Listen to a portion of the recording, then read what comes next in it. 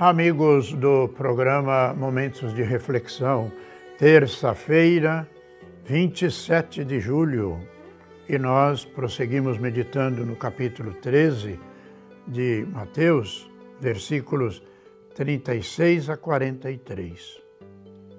Jesus deixou as multidões e foi para casa. Seus discípulos aproximaram-se dele e disseram: Explica-nos a parábola do joio. Jesus respondeu: Aquele que semeia a boa semente é o filho do homem. O campo é o mundo.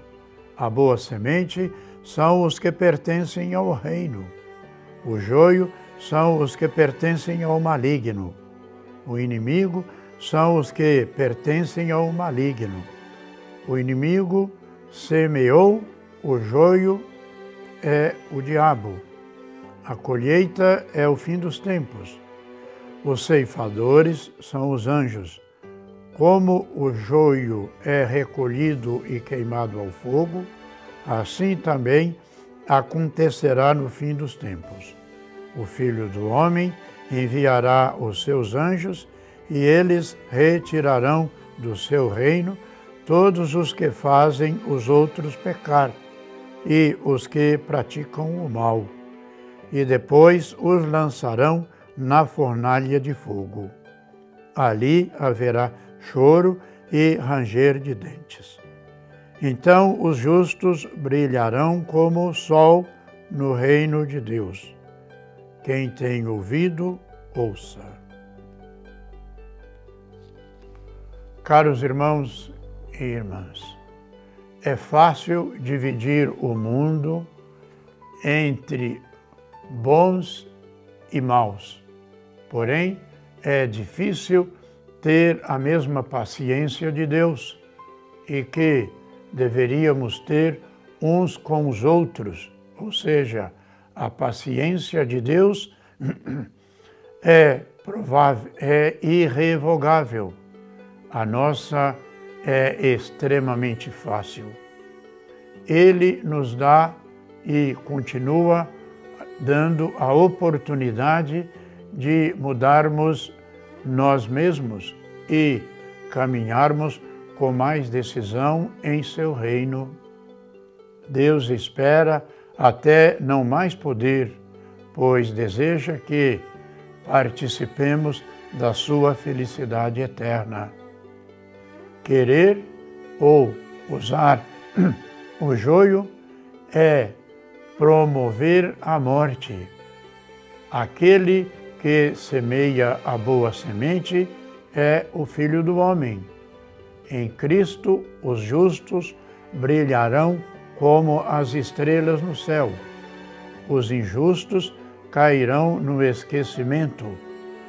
Explicando a parábola, Jesus disse que haverá um momento final quando se fará a separação entre os bons e os maus.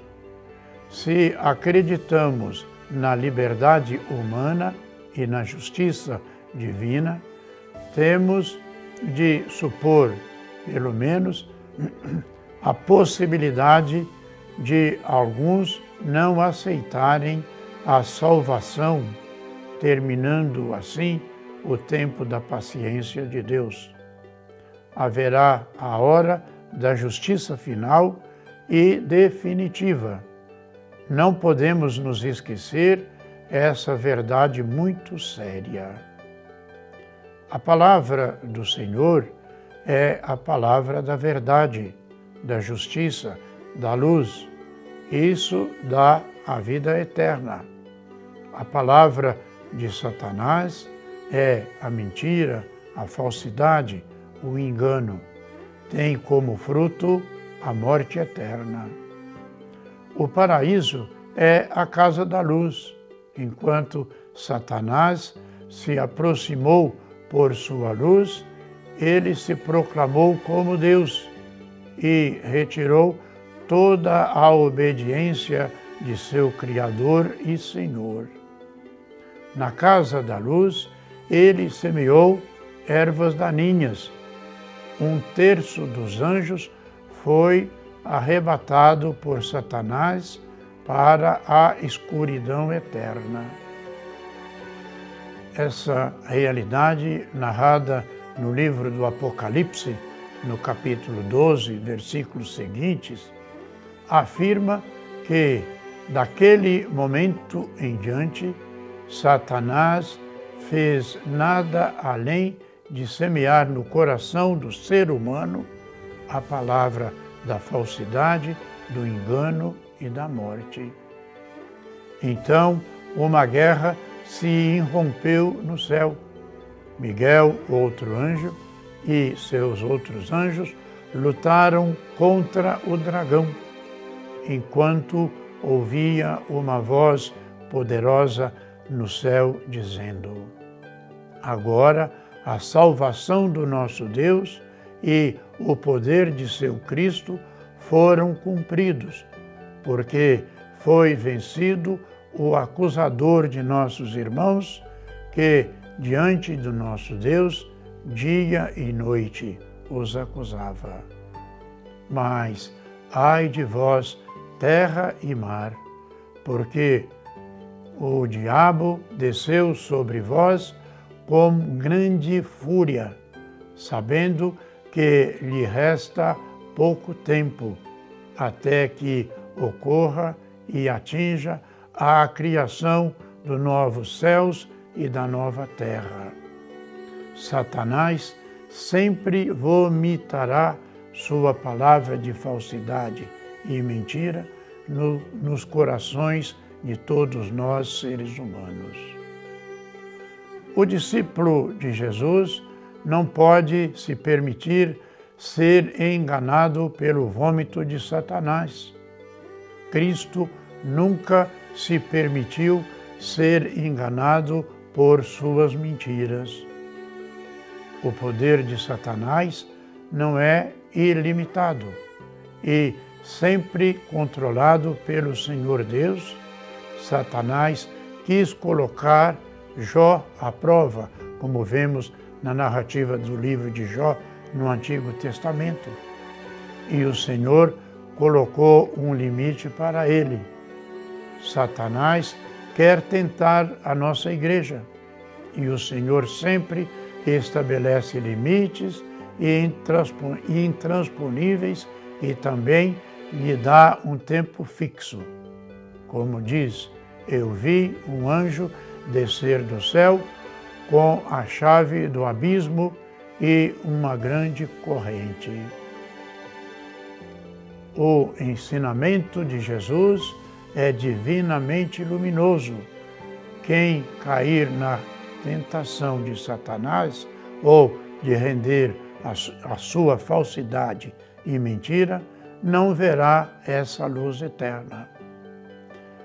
Será lançado na fornalha ardente como nós ouvimos, onde haverá choro e ranger de dentes. Somente os justos brilharão como o sol no reino de Deus Pai, conforme a narrativa que acabamos de ouvir. A falsidade de Satanás está também no coração dos discípulos, como vemos. É, seguidores de Jesus, na atualidade, todos nós vemos e somos levados pela sua graça, porém sempre sujeitos à tentação do maligno. E é por isso que nós precisamos viver a graça santificante do amor, do perdão, da luz, da verdade e da vida eterna. E, sobretudo, nossa conversão diária ouvindo a santa palavra de Deus. E é por isso que nós, irmãos, irmãos, irmãs, cristãos batizados e fomos, precisamos renovar constantemente nossas promessas batismais de renúncia à ação de Satanás na vida de cada um de nós. Satanás conseguiu promover a verdade inútil nos corações de muitos de nós pelos mundo afora e na realidade são realidades falsas. ou seja, pensamento da eternidade, da glória e da eternidade da perdição, conforme era o seu desejo.